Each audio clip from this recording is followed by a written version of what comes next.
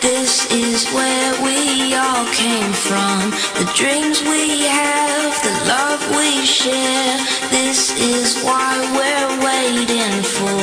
And in my mind, this is where we all came from. The dreams we have, the love we share. This is what we're.